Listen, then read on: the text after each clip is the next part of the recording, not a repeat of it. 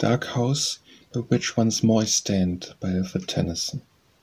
Dark house, by which once more I stand, Here in the long, unlovely street; Doors, where my heart was used to beat So quickly, waiting for a hand, A hand that can be clasped no more. Behold me, for I cannot sleep, And like a guilty thing I creep At earliest morning to the door.